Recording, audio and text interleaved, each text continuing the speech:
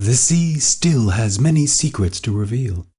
I was a scientist specializing in submarine archaeology assigned to USS Shar, a military ship. We were using the ship's technology to swap the abysses of the deep with the sonar in search of hidden worlds. We were cruising through the middle of a volcanic region in the Atlantic Ocean when an unidentified object appeared on our lookaways. Captain, unidentified spot in volcanic sector E255. The sonar seems to be showing a metallic object four times larger than our ship.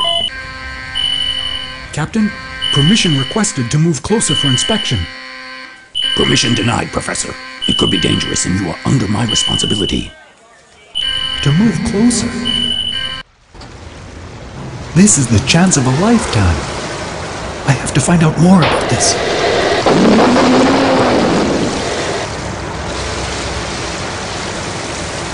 Professor, you do not have permission to leave. Come back immediately.